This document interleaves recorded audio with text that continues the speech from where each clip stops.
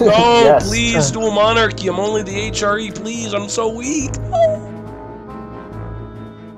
Hello everyone, welcome to a Victoria 2 multiplayer story. The Holy Roman Empire is something you probably won't hear much about in Victoria 2. It's more of a Europa Universalis or Crusader King sort of thing. But there is actually a way to live out this dream in Victoria 2, and as with many other LARPing fantasies, it's contained within Divergences of Darkness. I've actually formed the Holy Roman Empire before in a campaign that I streamed, but that was the God of Cheese mod, which was completely revamped, and you could only form it after 1900 as a late game bonus. But in what I regard as the standard DoD, which is the Zombie Freak multiplayer version, the Holy Roman Empire is one of the rarest formables you get in these multiplayer games. I did happen to be the Holy Roman Empire in these versions one time, but that was in the legendary Iberian War video, and I didn't even bother showing me forming it because that campaign was a bit of a joke anyway. We saw someone else form the HRE in a proper campaign where I was streaming as Scandinavia, some of us might remember that one. Before I talk about the actual details of the HRE, how to form it and what it does, just remember to completely naval encircle that like button, subscribe if you haven't. You can join the channel membership for Spudgun Official and get many great benefits, or support me on Patreon. Thank you very much to all the people who are already supporting me on these various means. You're allowing me to enjoy a pretty comfortable life right up until the inevitable economic collapse kills us all. Now that I'm back from the amazing trip that I had, I'm looking to start a new Victoria 2 live campaign, so look out for the community posts and maybe follow me on Twitter for more details whenever that comes up.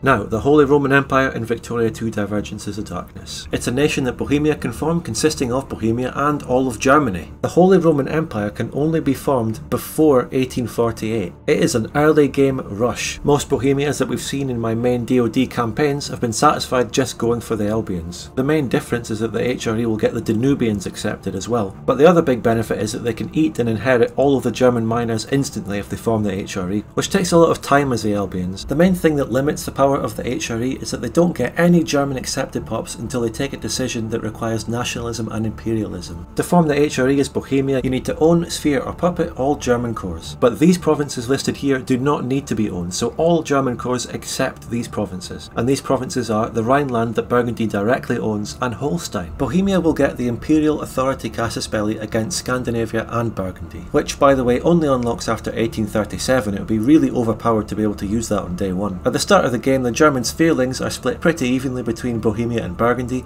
The Imperial Authority Casus Belli will transfer all of Burgundy's spherelings to Bohemia's sphere. When used against Scandinavia, the Casus Belli will release Pomerania as a Bohemian's sphereling, and also, very importantly, don't forget this, give you Oldenburg, which is a Scandi puppet and sphereling. So, to conclude, the Imperial Authority Casus Belli, which costs 25 war score, you use that on Burgundy and Scandinavia, 50 war score, and you can form the strongest nation on Earth in 1837. Now, there's a lot of tricks that Scandinavia and Burgundy can do to prevent that, or they can just win the 2v2 war. There's a lot more detail to all of this, but that's the overview of the HRE formation. I'll leave all the advanced tips and tricks and all that sort of thing to whenever I play Burgundy or Bohemia on a stream or a video. For now, let's focus on the campaign that this video is about. The year is 1846. Burgundy and the dual monarchy haven't been in a war yet, but Bohemia has been in an Eastern European war against Scandinavia and taken Pomerania only so far. Burgundy released his sphereling of East Frisia and ate it manually, and because it has Burgundian accepted pops in it, he's already cored it. And remember, that's a German core as well. Now, Bohemia is planning to attack Scandinavia with the Imperial Authority Casus Belli. Scandi will probably call Burgundy in, and Bohemia will call the dual monarchy in, and they're going to have this 2v2 war. Will Burgundy actually join this war? Well, he's got some issues at the minute.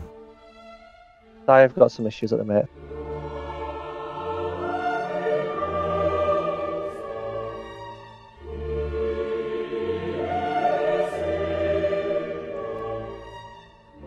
Why are you joining? Guess this is going to be a 2v2 then. Yeah, I might be fucked here. My navy's way smaller. Yeah, I was. I did wonder like you'd have to be building up a navy. Yeah, I'm just trying to. Oh, Survive. can we have one Uh, speed? Fine.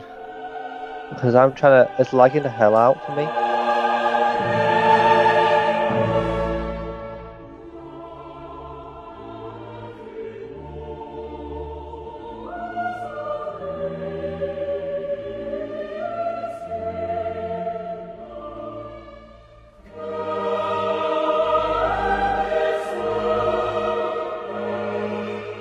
Uh, you actually want to go to war with me? Yeah, they're not in the Hey, same channel. With Burgundy. Oh my god, why is Burgundy in fire right now? I did not. I do not know.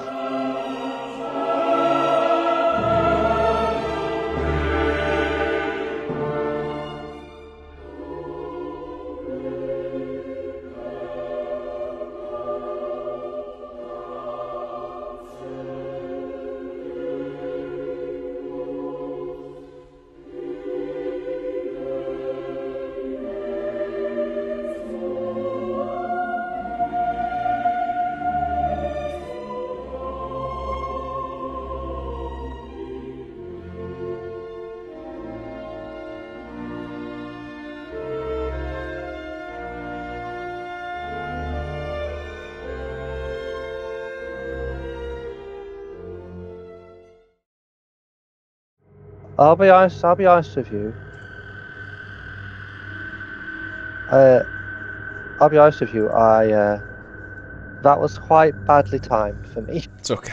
Hmm. Maybe an HRE run. Ooh. Actually, is it too late for it? I think it's 48. Are we not doing a joint war here, Scandi, or not against? them? Well, I'm like gonna give up here unless you've got like a surprisingly big navy that you can just pull out. I don't have a big navy. What are you losing here? Holstein and Scotland? Uh, no, just Holstein. That's it.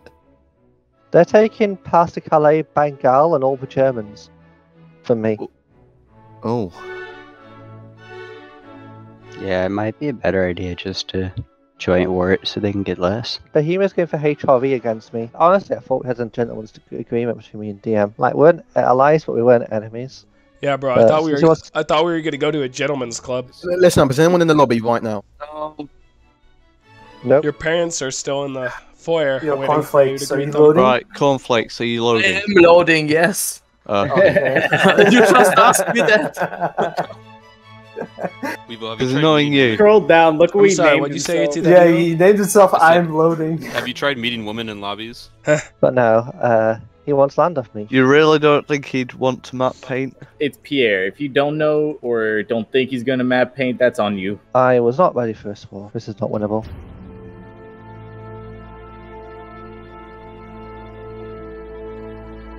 Am I still loading? Okay, I added my work. I'll send it to you. Wait, no, hold. Uh, Wait, Pierre, are you has to- adding? Pierre, Pierre. Wait, wait. Are you I'm adding gonna- anything? I'm gonna, I'm gonna take one Scottish state instead of uh, Gujarat.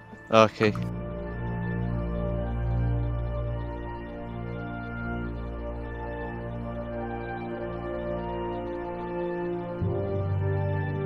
Not a wholesome little Burgundy. Can Have people you- stop mobilizing and demobilizing? Oh shit!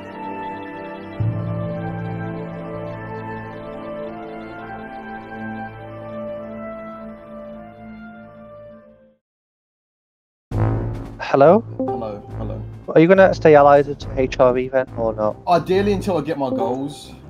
What's your goals? Like, what else do you want from me? Do you want me dead? No. Yes. He just No! wants to be Scandinavia. About to lose the infamy. I want to attack HRE. You know he's in the chat, right? Retard. What? Well, there was only three of us in the chat originally, but then everyone else has moved. Why wouldn't I join Yeah, this that, that's where you hear like a bling when somebody joined. Pog, do you want me to join us? Yeah. No, Yes. please, dual monarchy. I'm only the HRE. Please, I'm so weak. Hey, don't Wait, talk wait, shit does- about the hug. Does the. HRE get any oh, oh, oh, Pog, Pog, accepted? Pog, No, no, Yes, no. they, You shut uh, the fuck up and you join my hug box. Whoa, what's going on? All the Germans. Pog, Pog, Pogba. Okay, this is Pog, important. pog, right? pog, pog. Yeah, what? Uh, this is important. Do you want me to join this? Because if I do, obviously we win. But I don't want to like sort of kill the game. So I'm not. I'm not gonna take anything.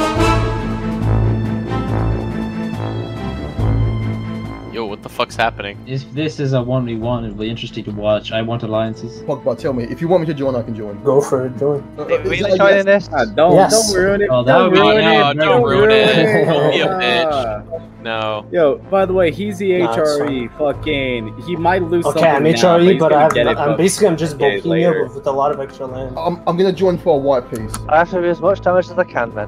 Fuck me.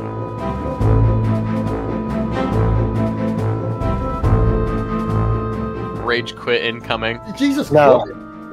I'm not gonna rage close. I just don't want. This is my only chance to actually stand up. Like you've let the HRE form.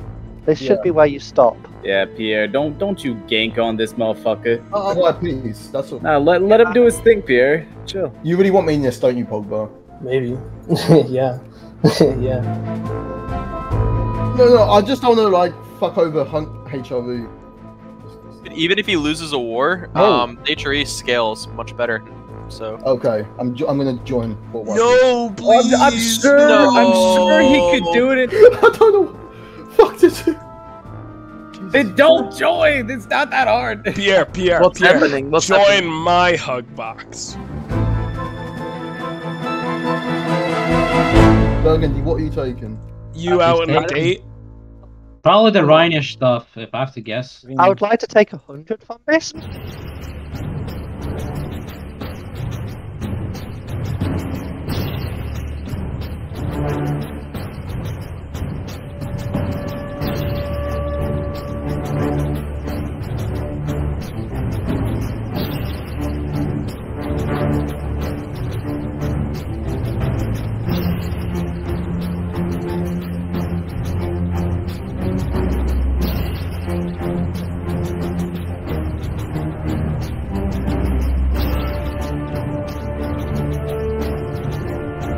Just hopped into the HRE's chat, told them fucking I joined the war against him if he didn't give me money. And? He gave me money. How much money you got? Uh, he only gave me a hundred K, but fucking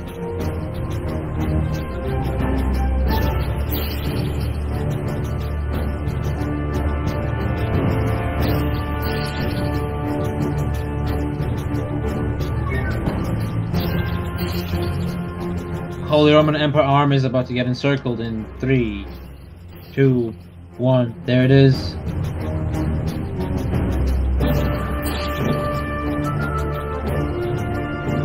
HRE needs to surrender right now. He's about to lose his entire army. I don't know. Unless he can win that battle. Wait.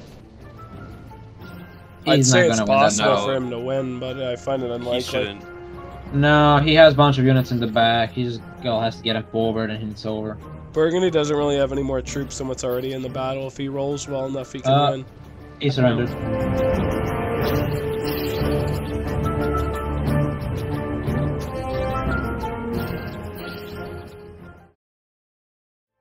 That was well. That was good.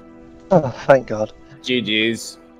Yeah, he had he had a core that I didn't see, so he could truce break. What I think is great about this is that Pierre, if he wanted to, he could just like let them duke it out and just focus on Scandy Yeah, for a dude, while. like fucking, you guys better appreciate this. Like fucking, I could have just. Yeah, I do at least. Thank God. Uh, f- f- at least you do, Burgundy. At least you do. Dual monarchy has unlocked the technology game balance. I'm Alright, lit- send me the piece. I- Send me the I'm piece. literally balancing. You have everything? I'm Yeah, that's everything.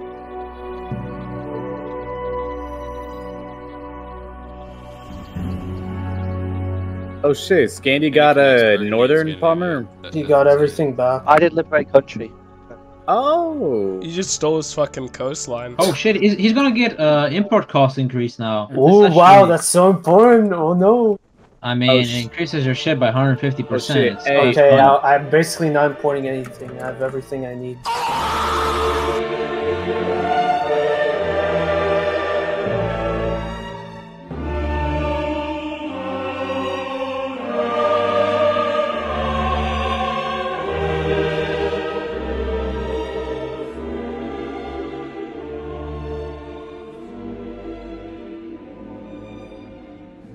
Oh wait, wait, look at the HRE now! Jacobins!